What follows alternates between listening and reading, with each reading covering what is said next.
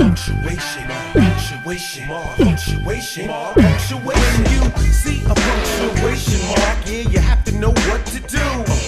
A period, comma, question mark, and an exclamation point too. They're in every sentence that you read or write. Take a look, it's true. So when you see a punctuation mark, you have to know what to do. A period shows that a sentence is over. I can fly a plane.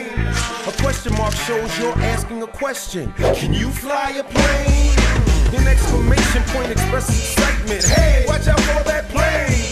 A comma means you slow down or take a breath when I wanna go to Spain. I hop onto my plane. See a punctuation mark, you have to know what to do. A period, comma, question mark, and an exclamation point too. They're in every sentence